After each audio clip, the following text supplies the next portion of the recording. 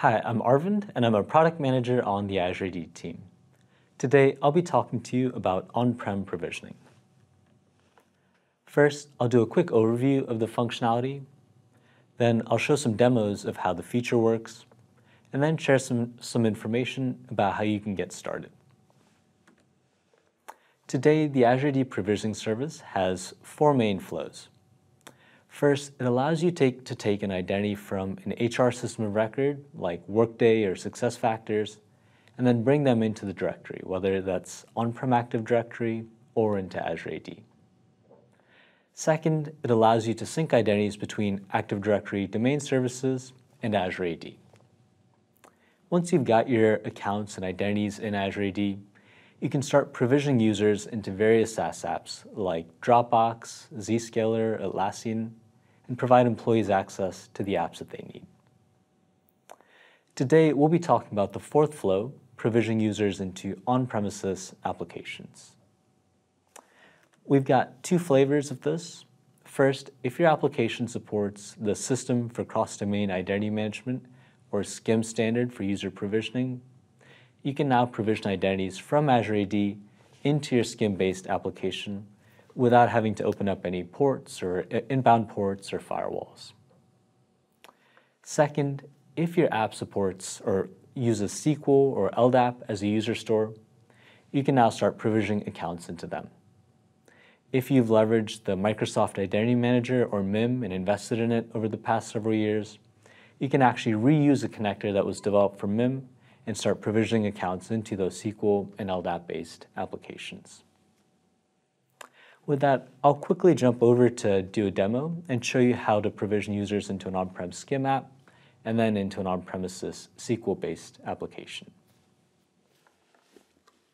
First, you'll want to deploy a SCIM server on your virtual machine or on-prem server I'm using the SCIM reference code that we published at aka.ms slash SCIM reference code. And here we find that we've got no users in um, my SCIM server currently. Next, I'll configure the Azure AD provisioning agent to provide connectivity between my on-prem environment and Azure AD.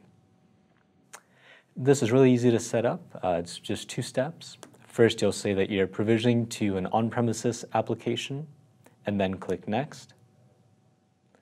Then you'll provide credentials to connect the provisioning agent with Azure AD. I've already set this up, so I'll switch over to the Azure portal and show how you can configure provisioning uh, in the cloud. Here I've got an application set up for provisioning into my SCIM app on-prem, and I'll be able to configure things like which objects are provisioned, whether you want to provision all users and groups in your application or in your tenant, or just the ones that are assigned to the application. By default, it'll be set to sync the ones that are assigned to the app. You can also configure what attributes are provisioned. We've got a set of default attributes here, and you can choose to delete them, add additional attributes, or define transformations before you provision uh, those accounts. For example, you can join the given name and surname to create a, a full uh, name for the user. Now I'll go into our on-demand provisioning experience and show how we can provision a user Nestor into the SCIM app. I've chosen Nestor from the Azure AD on-demand provisioning experience, and I'll click Provision at the bottom.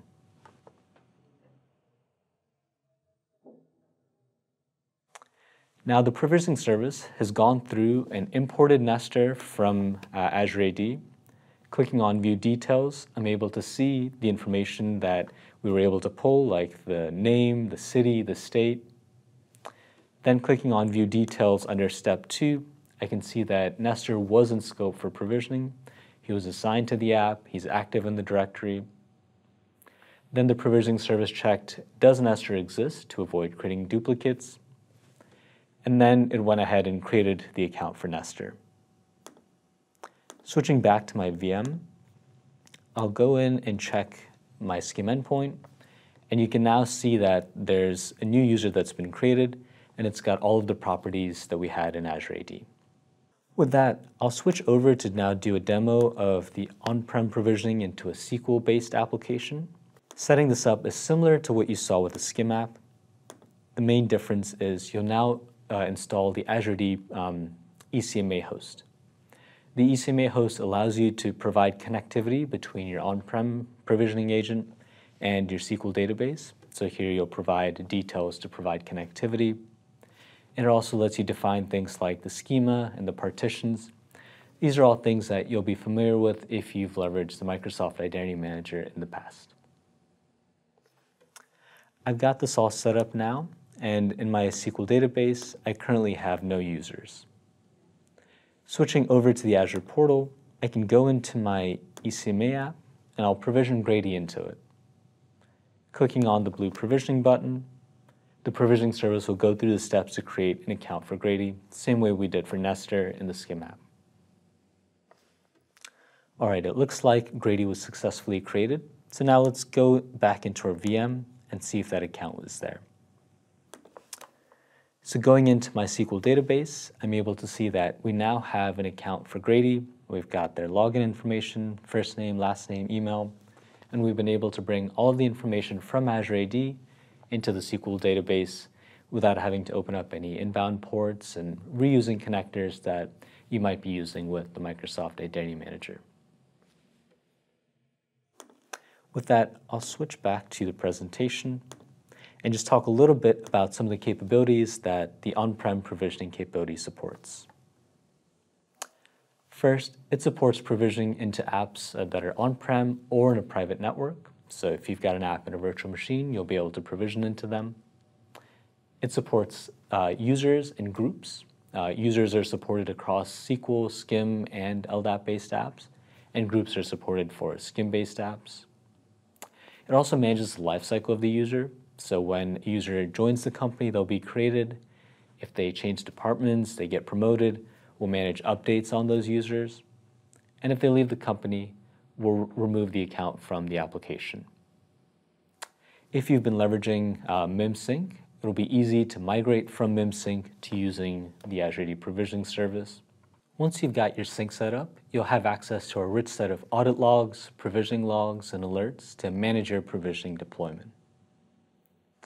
To learn more about on-prem provisioning, you can go to aka.ms slash on-prem provisioning doc, where you'll get access to docs about provisioning to SCIM-based apps, SQL, and LDAP-based apps. You'll get information about how you can uh, create custom mappings, define transformations, and get started with provisioning to on-prem apps. With that, thanks for watching um, and hope to see you next time.